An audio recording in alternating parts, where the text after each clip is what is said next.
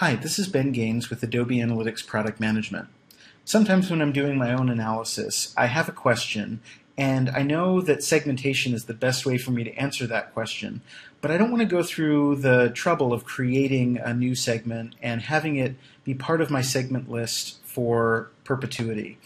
It might just be a quick question, maybe I'm curious about something, and I want the ability to just create a segment very quickly and work with it for a minute and move on, or uh, make it part of my project, but not have it uh, become part of my segment library in, in Adobe Analytics.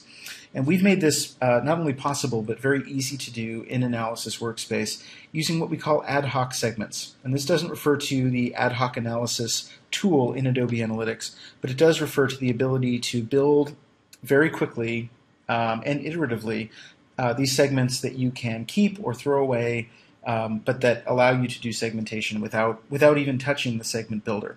Let me show you what I mean. So I've got a simple project here that shows uh, pages and internal campaigns. And now let's say I wanted to see um, what, uh, how, how Twitter has driven um, traffic to my site, how, how Twitter is impacting my pages and internal campaigns. So I'm to, I want to segment by refers for, or by, by, uh, by clicks from Twitter.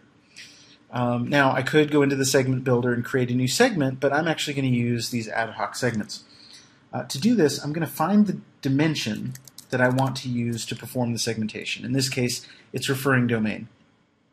So I'm going to find referring domain here on the left by searching for it in this case, and I'm going to click on the little arrow.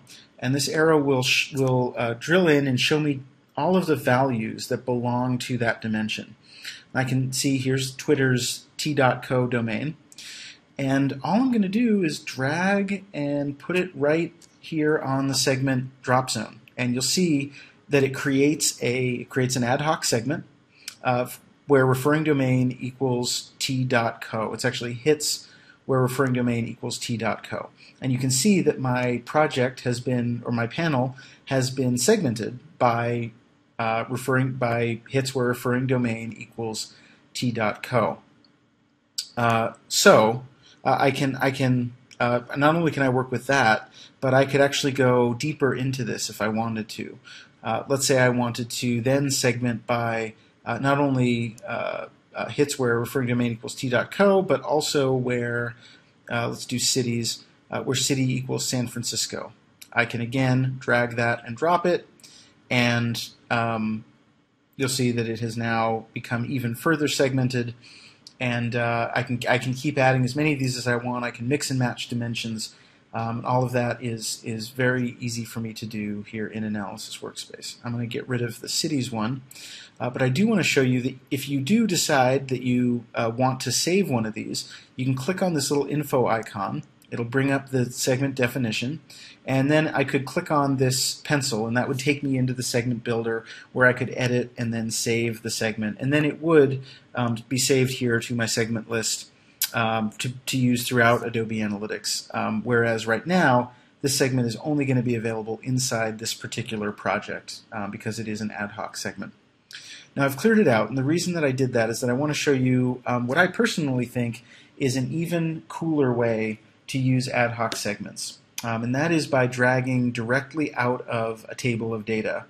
Um, so uh, let's say I wanted to see which internal campaigns uh, were most clicked uh, on my homepage. Um, again, I could build a segment, or I could even you know go find homepage up here in uh, my page dimension. Uh, but I've already got pages here. So I'm just going to go to home, and I'm on a Mac, so I'm going to hit Command, but uh, this would uh, you'd want to hit Control if you're on a PC. Uh, so I'm going to hold down Command and just drag. And when I hold down Command, that item becomes draggable, and I can actually drag it and put it up on the uh, on the uh, segment drop zone. And I actually picked one that has no data, so that's not a lot of fun. Let's clear that out. Um, I'll, I'll, do it uh, segmenting instead by internal campaign. Um, so I can take this int underscore 102 tracking code, drop it onto my segment drop zone, and you'll see that everything becomes then segmented by, uh, by that value. Uh, so you can do that for any uh, value of a dimension, or of course any segment. You can always drop segments uh, up here as well. Uh, but any so any table where I'm using the values of a dimension, and you'll know that you're looking at a dimension value if the little bar on the left uh, side of the cell is is yellow or orange. It's kind of a gold color. Um, anything that has that gold color can be dragged and dropped by holding down Command or Control. Um, and and dropping it here on the segment drop zone. Um, this is something that we've. Uh, this is a, a, point of feedback that we've gotten uh, from many of you uh, wanting this ability to build these these ad hoc segments on the fly, and you are now able to do it in Analysis Workspace as of June 2016.